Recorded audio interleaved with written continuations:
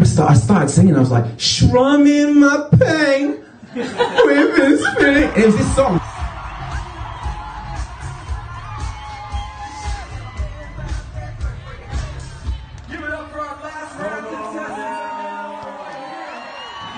I went to a library. Most awkwardest places, right? Just started singing. But what happened was that I lost the fear of being judged in the process. It allowed me to be myself, that person who you are behind closed doors. It allowed me to be authentic. No? So why am I scared? The conditioning, the fear, right? The false evidence appearing real. But then what I realized was this the process from studying successful people, what I had found was that they jump into their fear, they do it enough times, and then they become comfortable in an uncomfortable situation. Does that make sense? Yeah? So what happens there? Confidence isn't something that you're born with, it's something that's conditioned. The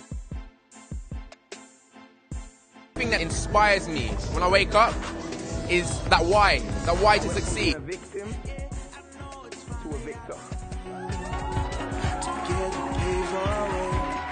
I didn't word it like that, but I, now I look back on it, that's how I, that's how I saw it. I didn't want to be a number. I didn't want to be in that matrix, that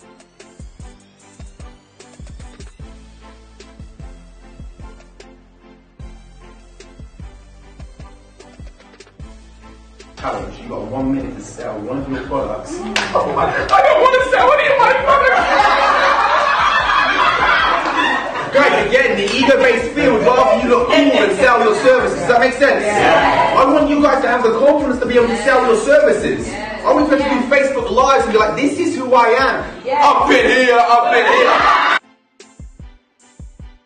If you can speak, you can influence.